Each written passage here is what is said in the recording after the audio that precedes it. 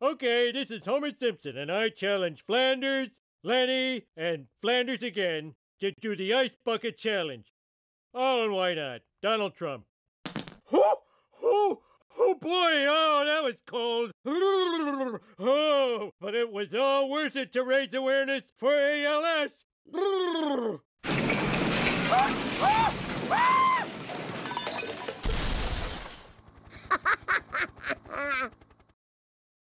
Fight